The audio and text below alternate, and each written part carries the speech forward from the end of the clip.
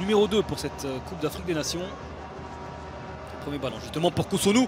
Oh là là l'erreur Oh l'erreur et la balle de match, la balle d'égalisation La balle d'égalisation